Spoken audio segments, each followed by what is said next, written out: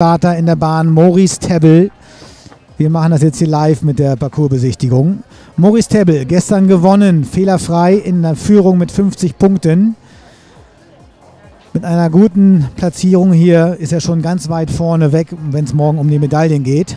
Also, es geht los auf der linken Hand.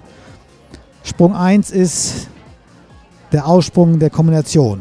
1,25 hoch, 1,30 breit.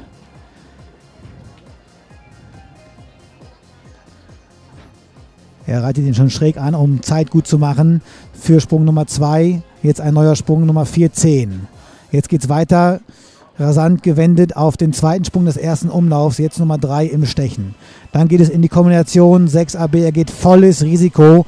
Maurice und bis jetzt reitet er hier wie vom anderen Stern. Alles gut gelaufen. Dann geht es weiter in die 7a, Zusprung 7a, Sprung Nummer 4 im Stechen. Rechtsrum neuer Sprung, der letzte Sprung von der anderen Seite, Sprung 15 und jetzt Ziel gerade nach Hause, Sprung Nummer 15, hervorragend geritten, die Zeit 37,25.